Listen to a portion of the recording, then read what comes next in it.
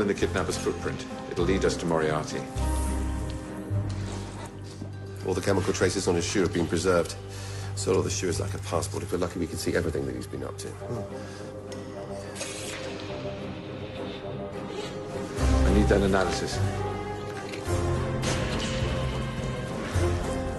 Alkaline. Thank you, John. Molly. Yes.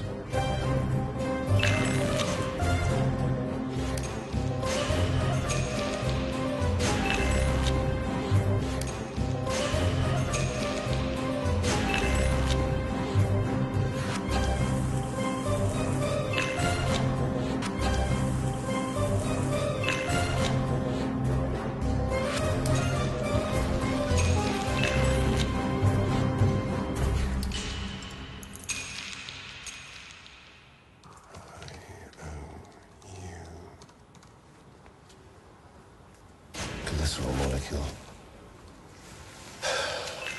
What are you?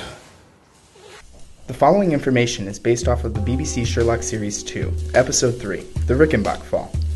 Some background information Moriarty is Sherlock's arch nemesis, and they are constantly combating using mind games. During this episode, Moriarty is out to destroy Sherlock's reputation after committing a string of crimes and tries to get Sherlock to solve them by compiling puzzles. Moriarty kidnaps a British ambassador's child from their boarding school during a family day and has a man that looks like Sherlock take them from their bedroom.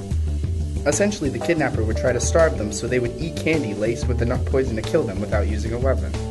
Sherlock finds this abandoned chocolate factory by finding five chemicals in the residue of the kidnapper's footprints at the scene of the crime, the boarding school.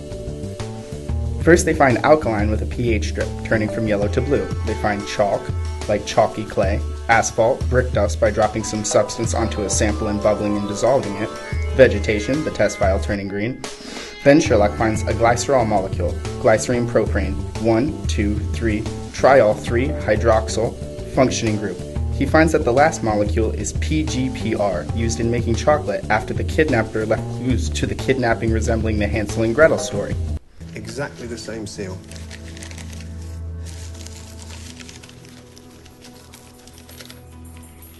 Breadcrumbs. Uh huh. Was there when I got back? Little trace of breadcrumbs. Hardback copy of fairy tales. Two children led into the forest by a wicked father follow a little trail of breadcrumbs. What's Hansel and Gretel? What sort of kidnapper leaves clues? The sort that likes to boast, the sort that thinks it's all a game. He sat in our flat and he said these exact words to me. All fairy tales need a good old-fashioned villain. Fifth substance. It's part of the tale. The witch's house. The glycerol molecule.